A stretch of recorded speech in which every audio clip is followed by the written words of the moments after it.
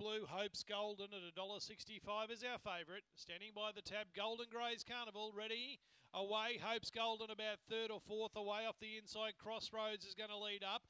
Going to second then on its outside. It's one obscured. It's Drink Shandies.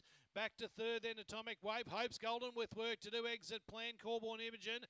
Unlimited Blitz. They fan off the inside. Atomic Wave gets to the lead. Atomic Wave wins a length and three quarters from Unlimited Blitz. The favourite Hope's Golden. Probably a little unlucky. Might just get third, but it is in a photo with Crossroads. Behind them Exit plan in company with Expat Hurricane. Corborn Imogen was one of the last ones in in the penultimate event tonight.